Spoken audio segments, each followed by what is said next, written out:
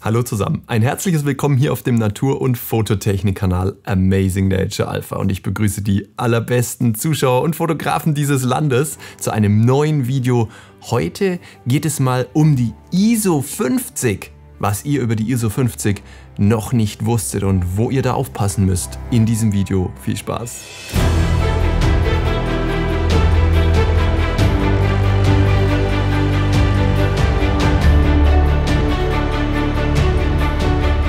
Ja, nochmal ganz kurz zur Wiederholung, was ist denn eigentlich die ISO? Die ISO ist das notwendige Übel, um ein Bild heller oder dunkler zu machen. Warum das notwendige Übel? Weil wir eigentlich ein Bild mit der Zeit und der Blende belichten.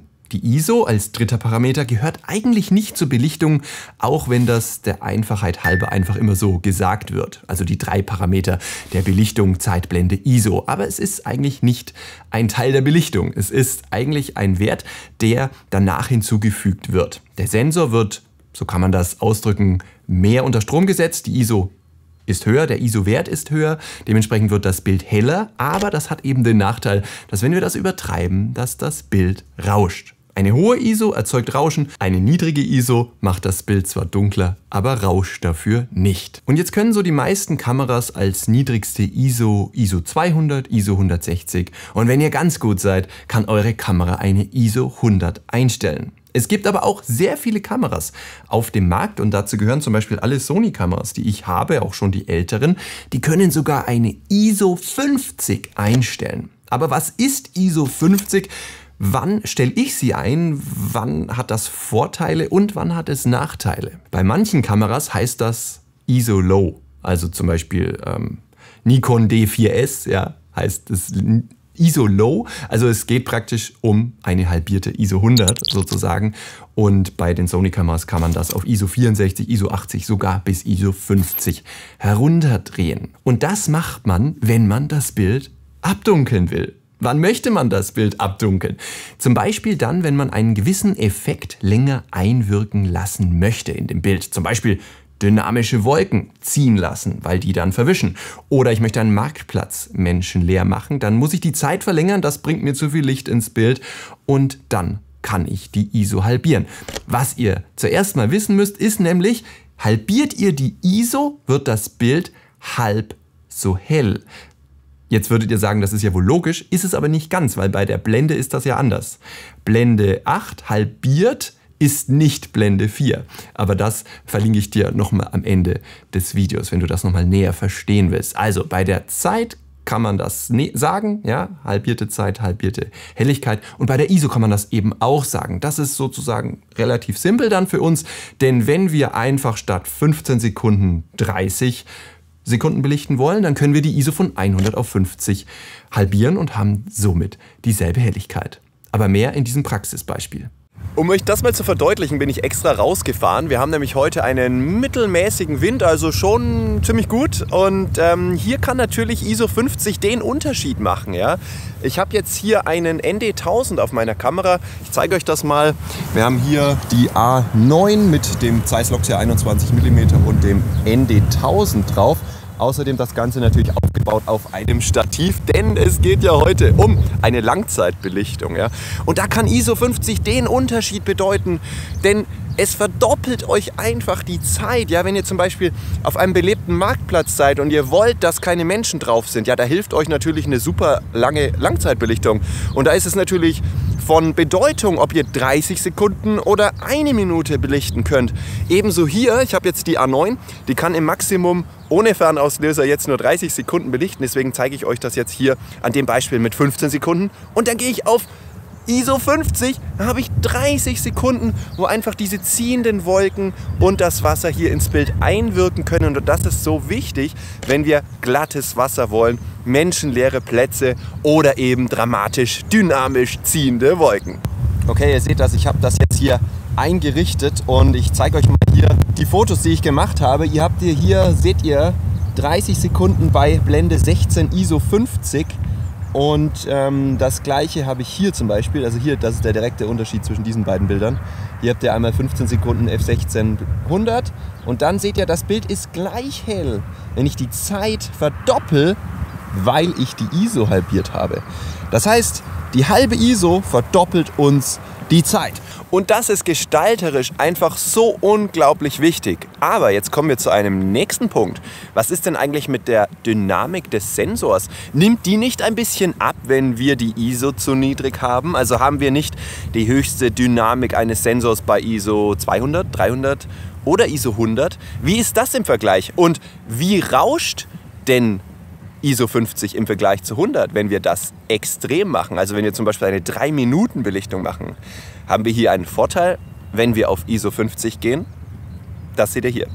Ich greife also die Frage jetzt auf. Ist es denn so, dass ISO 50 uns auch das Rauschen halbiert? Vielleicht besonders bei langen Belichtungen?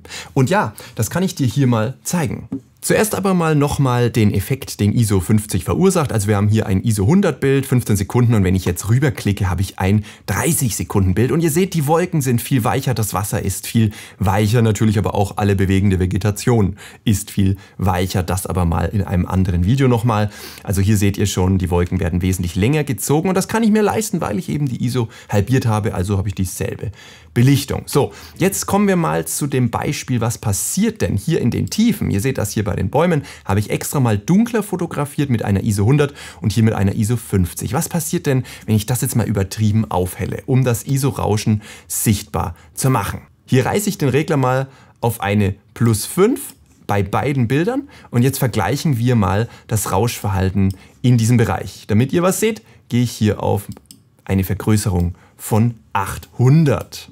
Und ja, es ist wirklich so. Ihr seht das, ihr habt jetzt das ISO 100 Bild und das rauscht tatsächlich stärker als dieses ISO 50 Bild. Nochmal bei 300 Prozent, achtet auch gerade hier auf das Rauschen im Wasser. Das ist jetzt hier bei ISO 50 nicht so schlimm, als wenn ich jetzt drüber schalte auf ISO 100. Hier seht ihr, das ist tatsächlich nochmal wesentlich mehr rauscht. Also merke, wenn du das Rauschen wirklich nochmal reduzieren willst, ist ISO 50 das, was du tun musst. Ja?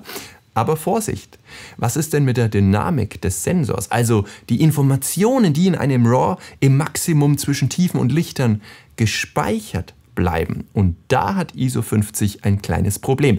Denn die Dynamik nimmt tatsächlich etwas ab, vor allem in den Lichtern, wohingegen sie in den Tiefen zunimmt.